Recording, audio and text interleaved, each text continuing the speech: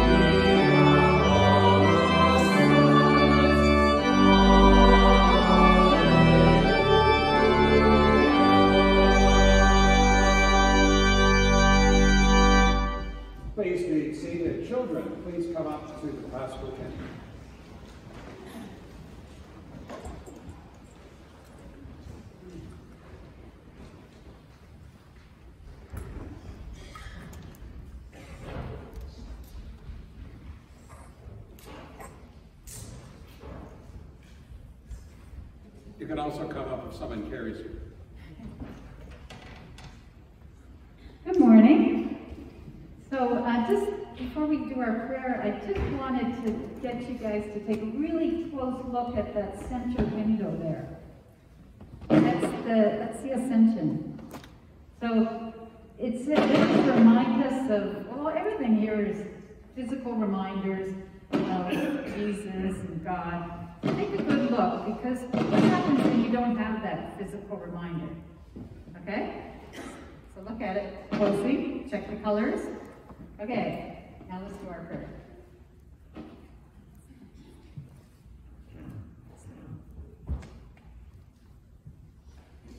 Giving and loving God, on Ascension Sunday, remember we remember your loving actions in this world, the sending of your Son and the glory of your rising from death at Easter. We recognize that we are never alone. Help us, with patience, to witness your presence in a world that needs your love. Strengthen us with your spirit, and let your light shine through us. Amen.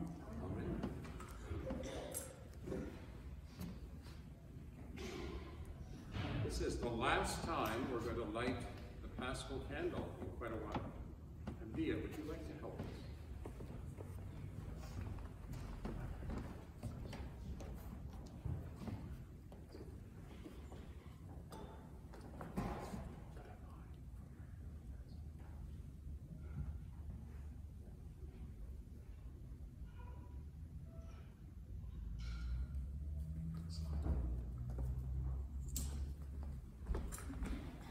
Please rise for our children.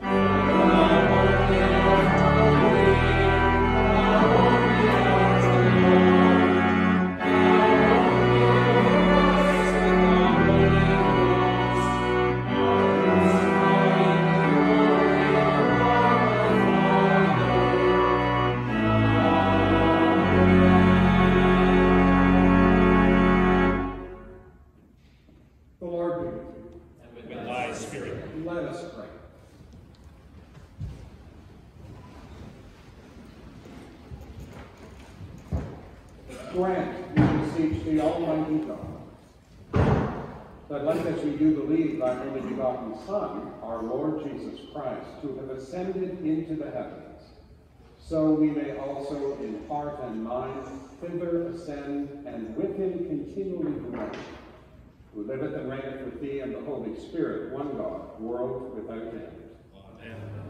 O God, the King of glory, who hast exalted thy only Son, Jesus Christ, with great triumph unto the kingdom of heaven, we beseech thee, leave us not comfortless, but send to us thine Holy Ghost to comfort us and exalt us into the same place whither our Savior Christ is gone before, who liveth and reigneth with thee and the Holy Ghost, one God, world without end.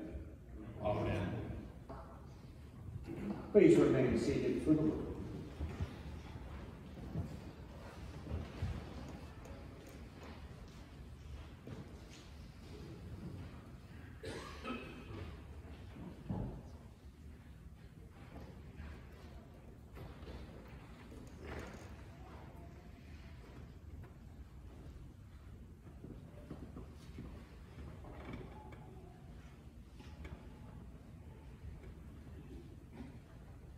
The first lesson is written in the book of Acts, in the first chapter, beginning at the first verse.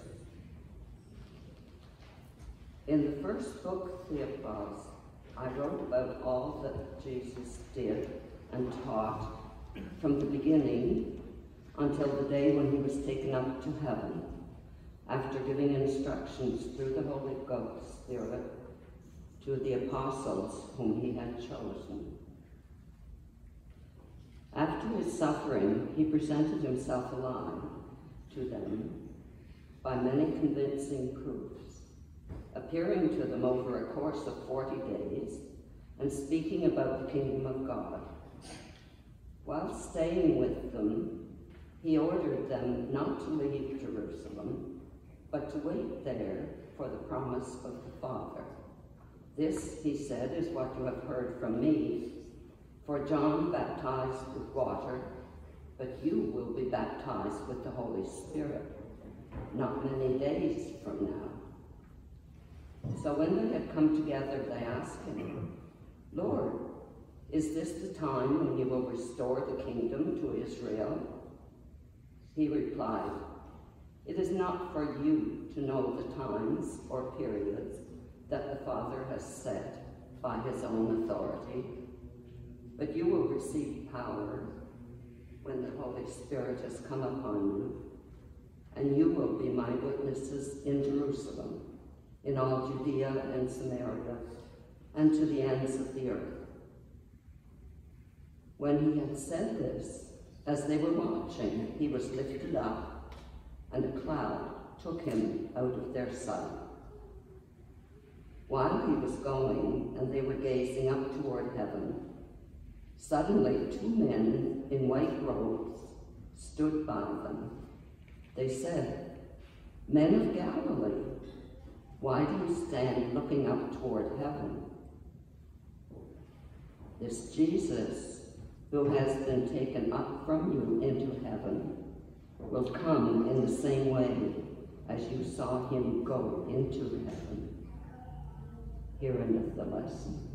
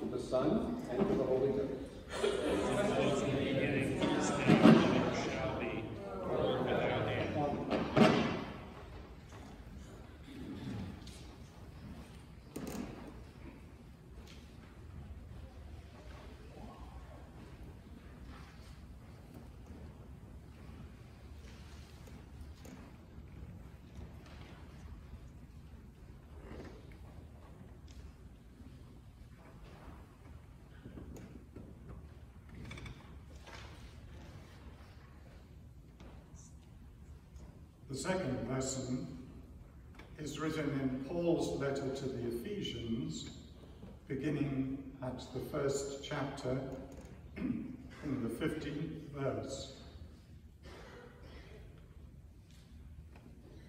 I have heard of your faith in the Lord Jesus and your love towards all the saints. And for this reason, I do not cease to give thanks for you, as I remember you in my prayers.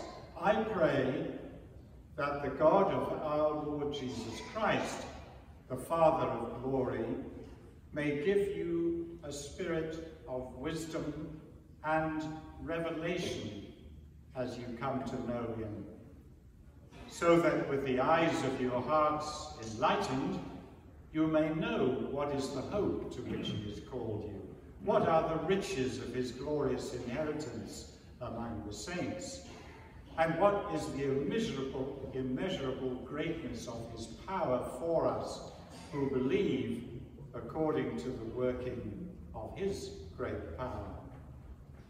God put this power to work in Christ when he raised him from the dead and seated him at his right hand in the heavenly places, far above all rule and authority and power and dominion, and above every name that is named, not only in this age, but also in the age to come.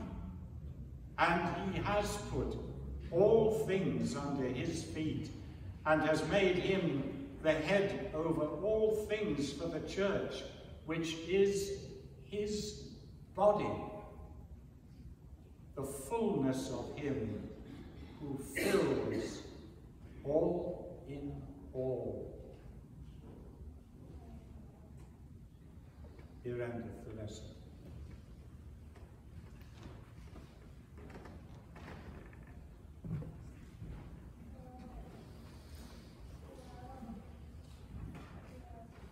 Please rise for the graduates of the gospel.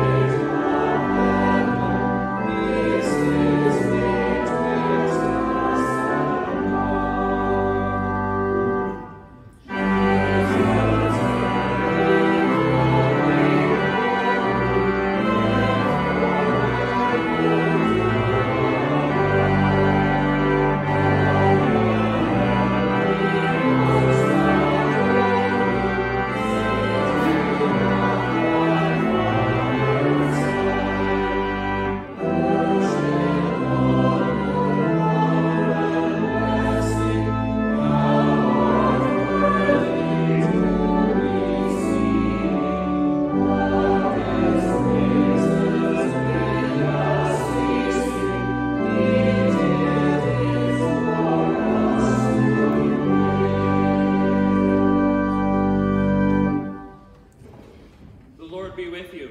And with thy spirit. The Holy Gospel of our Lord Jesus Christ is written in the Gospel according to St. Luke in the 24th chapter, beginning at the 44th verse.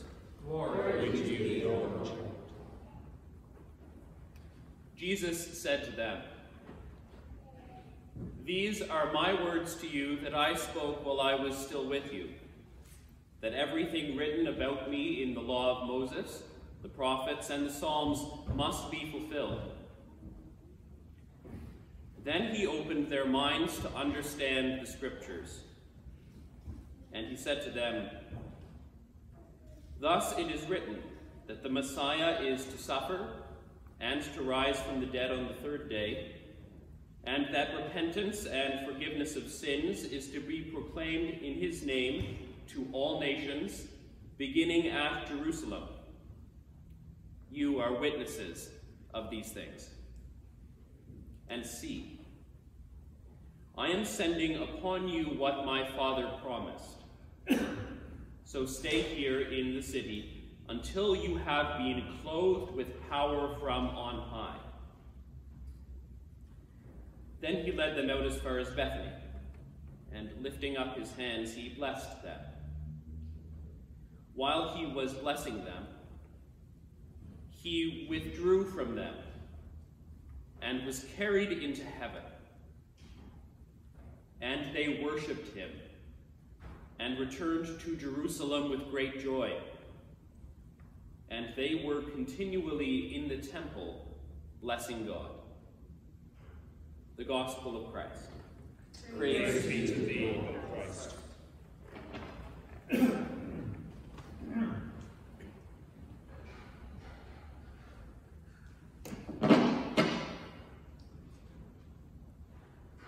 Please turn to your prayer books to page 71 so we can together confess our faith.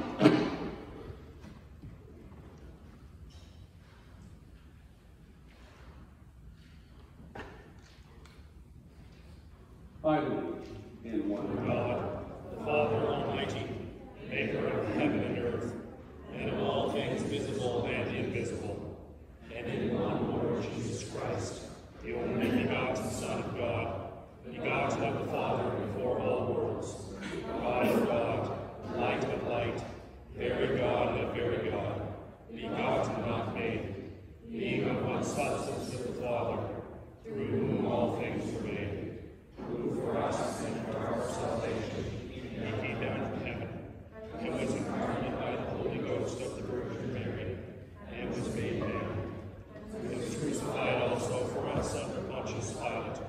He suffered and was buried, and the third day he rose again, according to the Scriptures, and ascended into heaven, and sitteth on the right hand of the Father. And he shall come again in glory to judge both the wicked and the dead, whose kingdom shall have no end. And I believe in the Holy Ghost, the Lord, giver of life, who proceedeth from the Father and the Son, who with the Father and the Son together is worshipped and glorified, who spake by the prophets.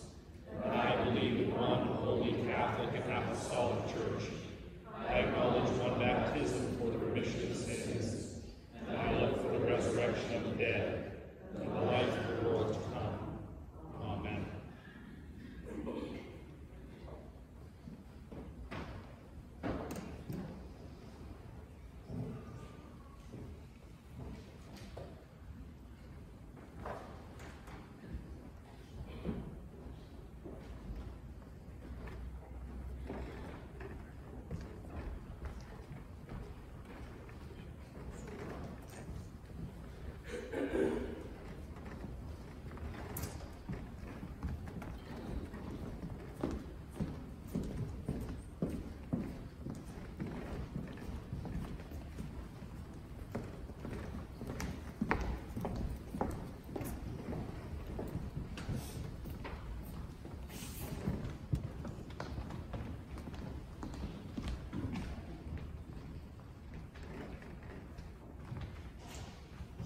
O Lord, open thou our lips, and our mouths shall show forth thy praise. In the name of God, Father, Son, and Holy Spirit. Amen.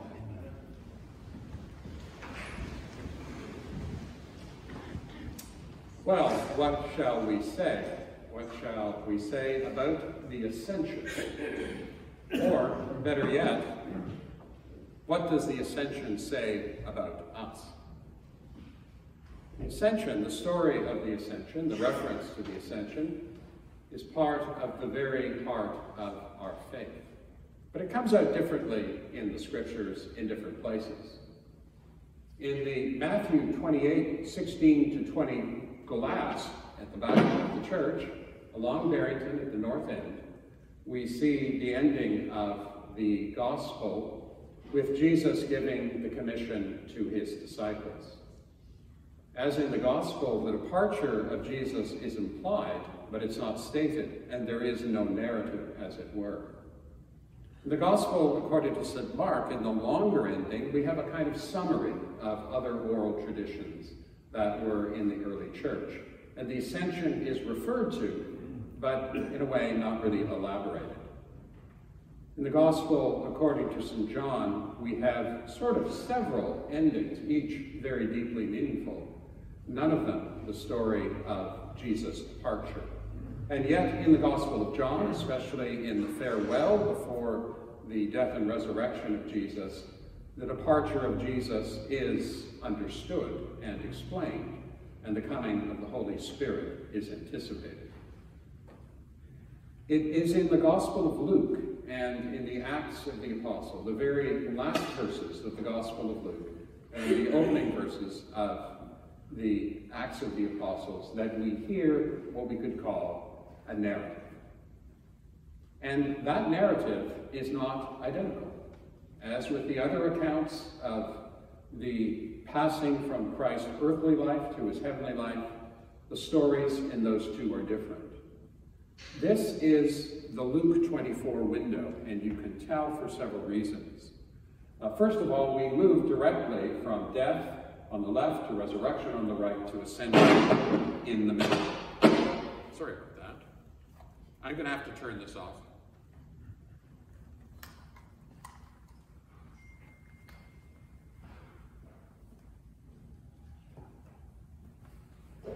And so you can see that as in Luke's story, the three follow one right after another. In Luke's gospel, it's as if there weren't 40 days in between. 40 days being very meaningful at the beginning of the Acts of the Apostles. But there's another reason. In the story that we have just heard read to us, we see that Jesus is blessing them as he is taken away. And if you look, you can see Jesus' right hand extended in blessing as he turns from them and they look up and he is taken from their sight.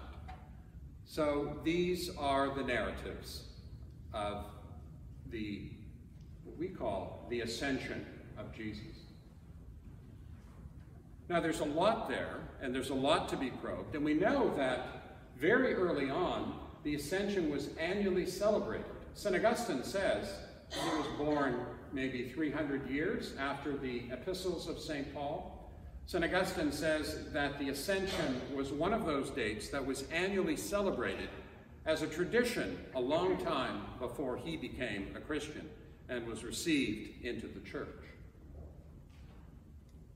So the question is, what do we do with this? I think we should take our clue from the 47th Psalm in the language that we've sung, in slightly altered language, God has gone up with a merry noise or with a shout. It's a psalm long associated with this annual feast that we call the Feast of the Ascension. And of course, people have thought a lot about this. Our ancestors amongst the ancient people of God have thought about it. Was it about the Ark of the Covenant, upon which God was understood to descend in his spiritual presence and then ascend? Was it about the battles? Because it sounds like a triumph after a battle, maybe after the entry into the Holy Land, after which God ascends. But it could also be a reference to the enthronement of God. There was no God greater in the ancient Near East, or rather, no king greater in the ancient Near East than the Assyrian king who was called the Great King. But this psalm asserts, as do the Hebrews, our ancestors, that God Almighty is the great king. And this psalm alludes to his enthronement. Perhaps annually reenacted, we don't know. God is the great king who ascends to his throne. And this is certainly the line upon which St. Paul was thinking in the passage that we heard from the epistle to the church at Ephesus, to the Ephesians. In that passage, we see the same rapid progress of Jesus Christ at the end of the incarnation.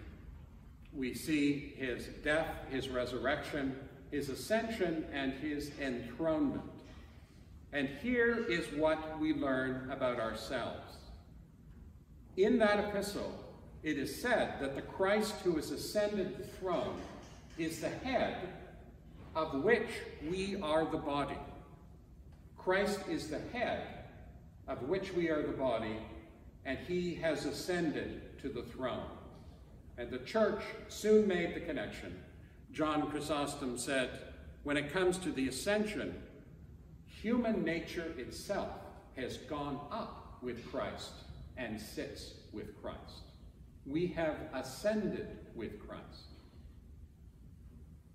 Long ago, we believed, and hopefully we will always confess, that we were created in the image of God. We're not thinking here of the wonderful variety of faces and colors and shapes and sizes and places that we are or that we come from. That is just part of who we are. But we're speaking about the image of God in our mind and heart and soul. What makes us human is the image of God, and it is shared by all. It is this image of God that has reascended and been reunited with God the Father through Jesus Christ. We, the church, are stuck to Christ, the head, and it is so easy to forget that.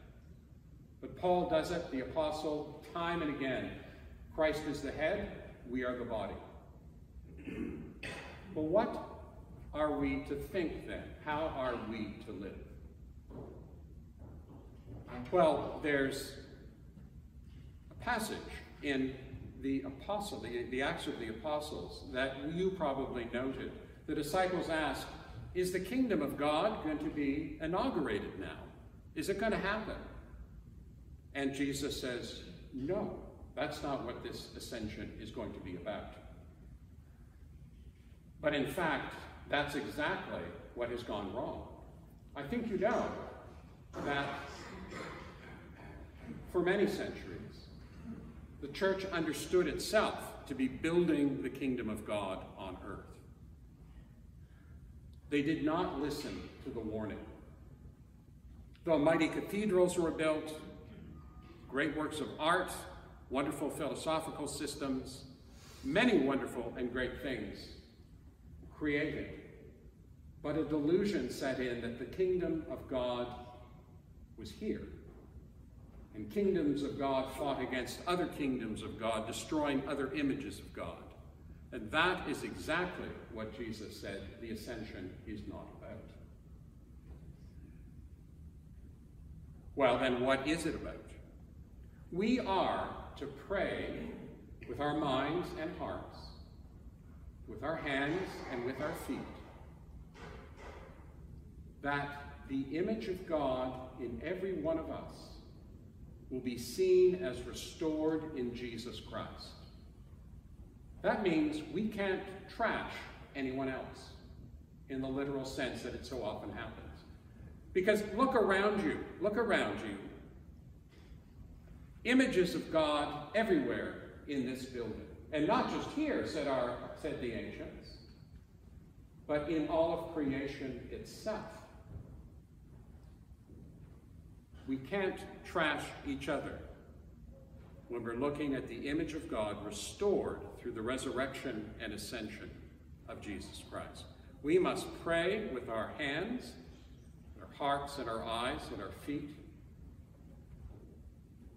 pray that the image of God will be so evident that we will live differently. But there's something else here, and I know that our theologian, our parish theologian, will explain it all next Sunday, on Pentecost Sunday. We are waiting for the Holy Spirit. It's like the Nativity. Every year we wait, we know, but we're reminded of the coming of the Holy Spirit. This is called Expectation Sunday. I don't know if you knew that, but it has been called that in the past. And in a way, it's true. We are between last Thursday, the ascension of Christ, and next Sunday, Pentecost Sunday. And I think this should be our prayer. That we see each other as part of the body of Christ. And we see the world around us as made and restored and ascended with Christ and that we leave the politics and the policies, the programs which we hurl at each other aside, because it is God who will bring the kingdom, not us. In the name of God, Father, Son, and Holy Spirit. Amen.